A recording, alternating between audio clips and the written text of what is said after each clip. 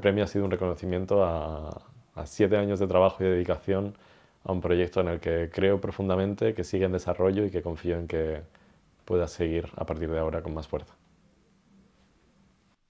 El proyecto Passengers tiene como objetivo em, repensar la manera en la que la migración se ha estado documentando durante los últimos años y que de alguna manera nos han hecho insensibles a lo que está pasando en el Mediterráneo. Yo creo que entender a esas personas desde esa cotidianidad y desde un punto de vista más cercano que nos permita empatizar.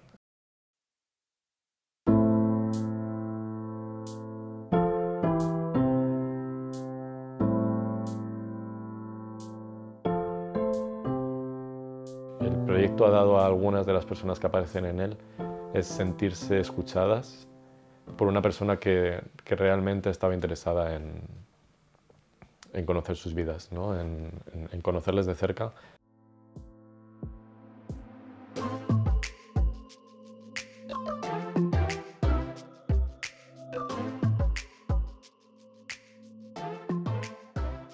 El proyecto continúa en desarrollo. Eh, actualmente me faltan por visitar algunas de las personas que están en la barca. He visitado a 75 de esas 118.